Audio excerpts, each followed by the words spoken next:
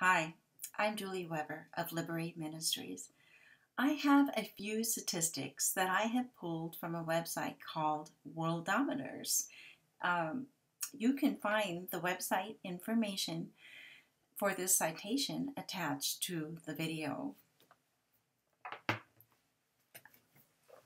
Out of a current world population of 7.4 billion people, there happens to be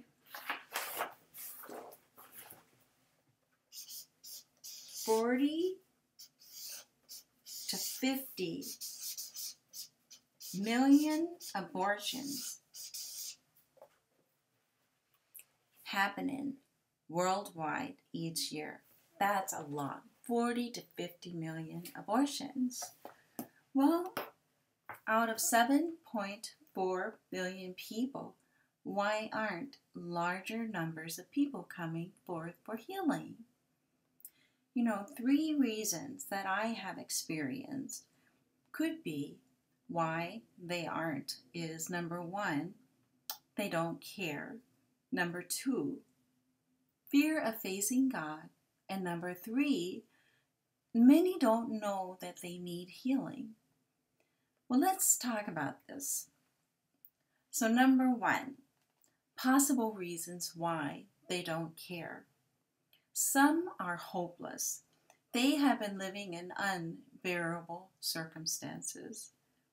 Or they were involved in an abortion situation where they lost their rights to the child's life by the choices that they made. Or some are in denial. They have deeply suppressed their feelings. Two, possible reasons why they fear facing God. Some people don't think they deserve to live because they took their child's life and God is angry with them. Some don't think that they could be forgiven or they could forgive others and forgive themselves. Some don't understand how God would allow this to happen to them. Number three, other possible reasons are many don't even know that they need healing. I have a list of questions for you and um, to help you see if you might need healing. 17 years ago, someone else asked me some questions before I knew that I needed help. Okay, so I have some of these questions and I'm going to read them to you a little bit here. Here we go. Even now, do you still have thoughts in related to your abortion? When thoughts come up, do you tell yourself to quit thinking about them and remind yourself to move on? Have you had thoughts of suicide? When you share your abortion experience with others, do you become angry, filled with guilt, shame, or sadness?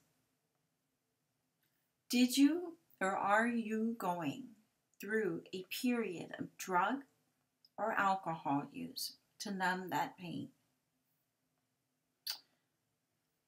Do you look at yourself the same way now that you've had an abortion? Is your abortion secret keeping you from forming close relationships for fear that they will reject you if they find out?